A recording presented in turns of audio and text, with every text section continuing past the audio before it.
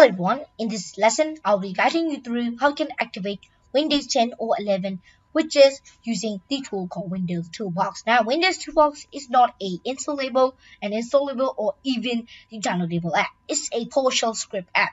So that means you only need to paste this paste this specific command to run this app in the Windows PowerShell. Now, as you can see if I if I search for settings right here, system and the activation, it said activation say not active.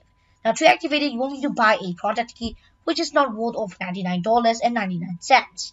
So in this video, I'll be showing you how you can activate freely freely activate Windows 11, 10 or 8 just using a tool called Windows Toolbox. Now it's not a pirated or even a cracked software, it's a open source software. Just simply open up your web browser and then go to this go to this GitHub link right here.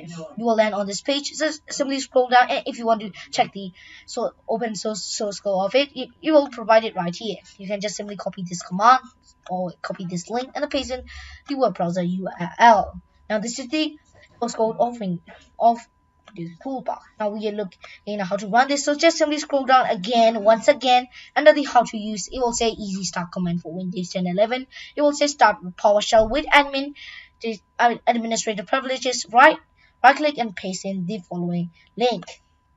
Just simply copy this following link. Make sure to do not miss copy links. Search for Windows PowerShell and then open the app as administrator. If the Windows PowerShell asks for the administrative privileges, just simply click on yes. Right click to paste in to the Windows PowerShell and then click on enter to continue. You'll need to wait for about a minute or two and then we'll say initialize it Windows Toolbox. Now, you can do many things with Windows Toolbox right here. You can even tweak some system, additional option, enable or disable Cortana. You can activate, uh, you can even activate Microsoft Office 16, 10, 20, 13, or, or even Microsoft 365. You can also go install Google Play Store with it. But we're just looking at how you can activate Windows 11, 10, or 8 You will need to find the now you will need to find the activation center and the under the activation center. You will see activate ms office and also activate windows.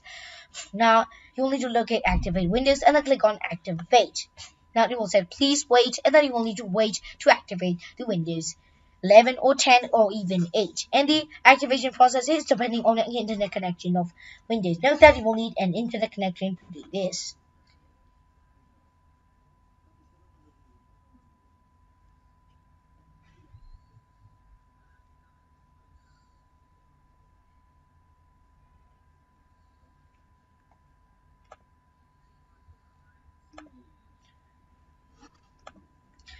As you can see, it has been successfully activated the Windows right here.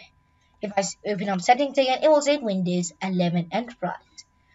This is how you can activate Windows super easily and super freely.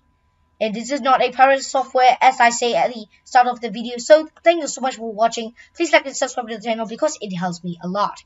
If you if you make it through this video, uh, you might subscribe right now. Okay. So that is all from the video. Thank you so much for watching and I'll see you in the next one. Ciao.